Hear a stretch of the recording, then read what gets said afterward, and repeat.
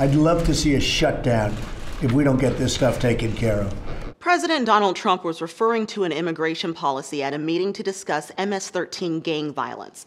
The government recently closed for three days after negotiations over the Deferred Action for Childhood Arrivals program fell apart. Trump dismissed another bipartisan immigration deal Monday, calling it a total waste of time because he said it didn't provide enough funding for border security or a wall along the U.S. southern border. After that shutdown, Congress passed a stopgap spending bill which expires February 8th.